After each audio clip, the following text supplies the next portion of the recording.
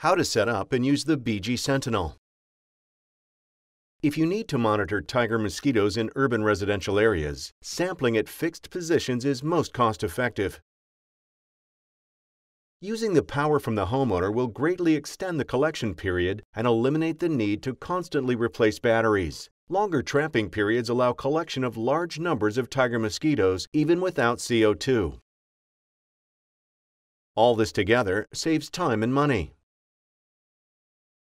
Dr. Scott Gordon, medical entomologist for over 40 years, will guide us through the setup of a trap in a residential area.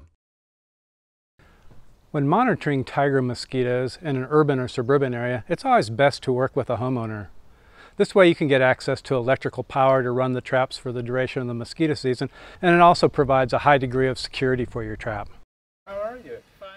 Working together with homeowners does not only provide advantages for you, the homeowner also benefits from having a trap that reduces nuisance biting. This is a good argument for the trap. Further, with less than 5 watts of power consumption, the trap can be run over the entire mosquito season for only a few dollars. Setting up the trap is easy.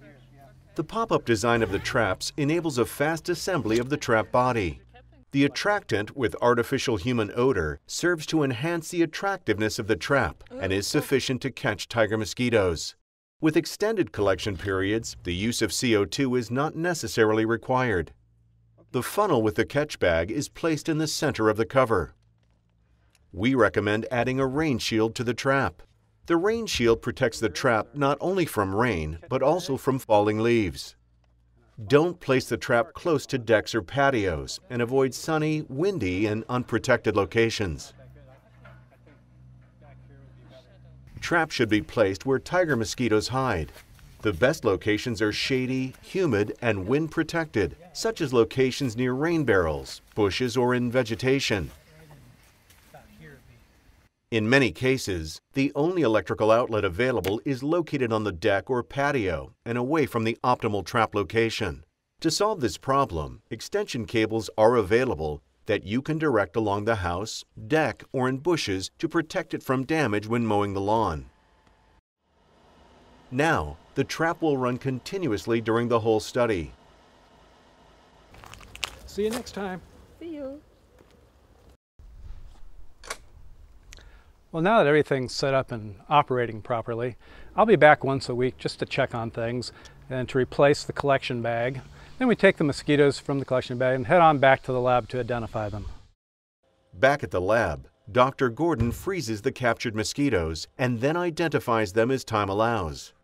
Because the mosquitoes collected with the BG Sentinel do not pass through the ventilator fan, they are usually in good shape to identify. Normally, we recommend to collect the catch every seven days.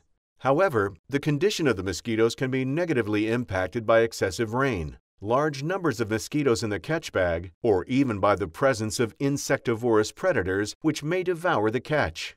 In these cases, shortened collection periods are recommended. In contrast to a collection where you set up the trap one day and pick it up the next, a continuous monitoring in established fixed positions with extended collection periods makes data collection more efficient. Setting up trap sites only once saves time and money.